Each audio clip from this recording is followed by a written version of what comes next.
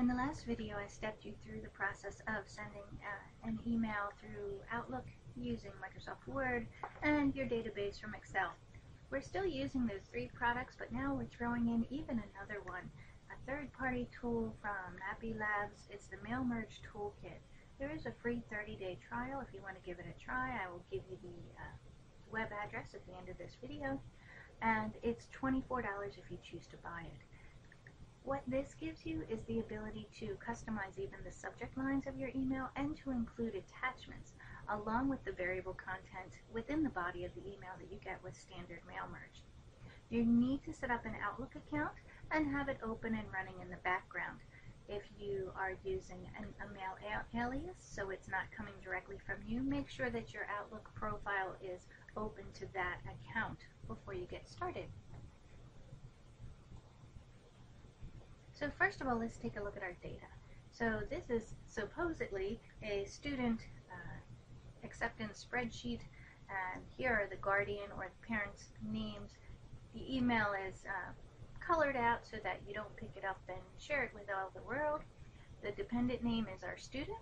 This is the address, city, state. We're only going to be sending this correspondence to students in the United States this time, uh, and we'll edit that and filter that uh, during the process. The students are getting a scholarship amount we're offering to them, and we're going to show you how that formatting works. Uh, just a review of that confirm file format conversion on open or dynamic data exchange. Uh, we did collect the, the student gender when they signed up, and uh, not only are they getting their orientation date, but they're getting a specific email based on their preference of where they want to live.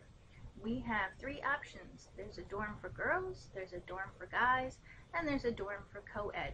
So somewhere along the way they made that choice. This is the way that you'll be including those attachments by including the path on your computer where the file is that you want to attach. So what does that look like? Let me show you how easy this is. So here's a little window with the folder with the attachments. If you're on a Windows machine, simply hold down the Shift key, right click on the file that you want to include the path, come down on the list, and left click on Copy as Path. So we're not copying, but Copy as Path. That's a left click. Go back to your worksheet and paste however you like to paste and there's your path. And then you can use autofill, double click to drag, and fill that in for the rest of the entries. And now we're ready to go back to our letter. So I'm going to save this and close it. So here's our letter. Notice that our scholarship formatting is not in the money format and our date is in the short date. We want to give them the day of the week as well. So let's go to our mailings tab and get started. So we go to mailings and in start mail merge, I'm going to choose email messages this time. It changes the layout a bit, but all the information is still there. I'm going to select the recipients and I'm using an existing list. Go to the desktop and choose my database. We get a different pop-up window since that file conversion formatting is turned on. And I'll click Show All. Scroll down to the bottom, and this is going to be Excel Worksheets via DDE. I'll click OK. And I'll click OK for the entire spreadsheet. If you have a filtered area or a print area, this will be available in this window. This is new in 2013 where it sort of pops up a blank spreadsheet and then the file is open behind the scenes.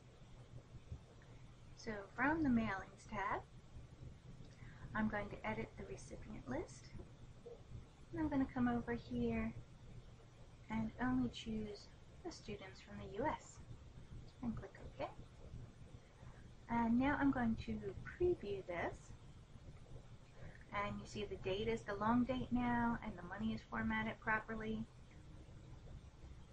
So you have two options.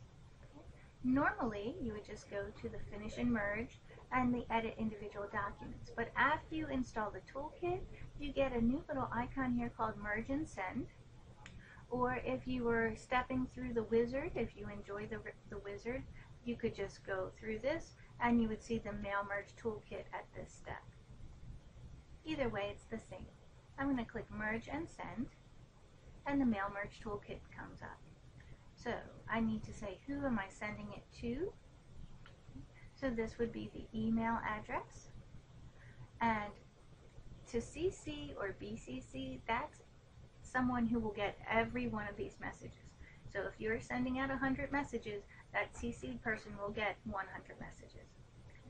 The subject line, you can say welcome, and you can even insert a field here. So we're saying welcome to the student. We want to attach a file, we just have to map. So you could add the same file for everyone, but we want to add a data field so that the students will get the attachment that relates to their choice in dorm housing. But we could just add the same file for everyone, like a map of campus. So I'm going to close the body of your email in. So we'll just use HTML filtered.